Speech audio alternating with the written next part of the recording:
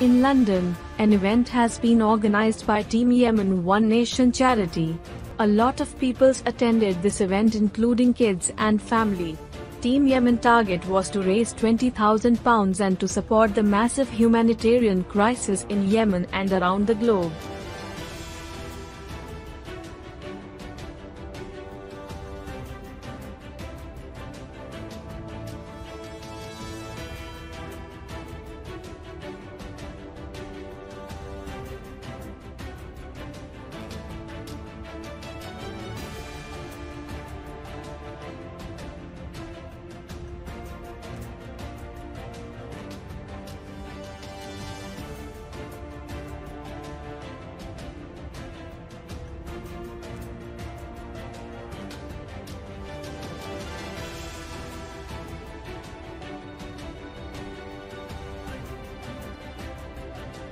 Talking with Chalta TV, Team Yemen organizers and fundraisers said that they thankful to the local communities who came to their call for this fundraising event. The people all over the world are suffering, they're not getting enough support.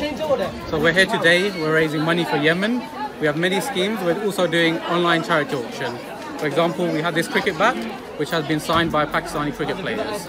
So inshallah, as a community, we are doing our best to help these people. Um, we started a charity for um, Team Yemen to um, raise money for all the poor people in Yemen. Um, it's been the worst famine since over 100 years.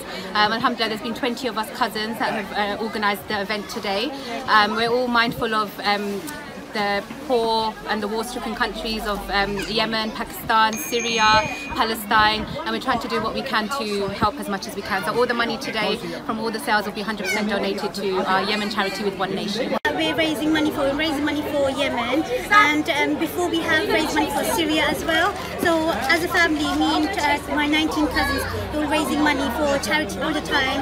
So for Syria we did before, and now Alhamdulillah we're doing it for Yemen. And inshallah, when Pakistan needs the money when they have the flood, we raise for them, and inshallah we'll always have all the countries, all our Muslim brothers and sisters. It's here for Yemen. You know how bad it is there at the moment where we try to do whatever we can to help our brothers and sisters in other countries. Alhamdulillah, we've been blessed here. We've been blessed in this country so much house, money, food, you know, we take for granted. Our, our brothers and sisters are suffering, our children are suffering in Yemen. Brother, if you watch the videos, it breaks your heart. Look how communities come together in Leyton. Alhamdulillah, it's more than we expected. So obviously at the moment with COVID-19, we know that it's affected kind of everybody on so many different levels, financially, uh, poverty-wise, you know, and health-wise. So um, especially in places like Pakistan, India, and um, Yemen, you know, places that are forgotten about.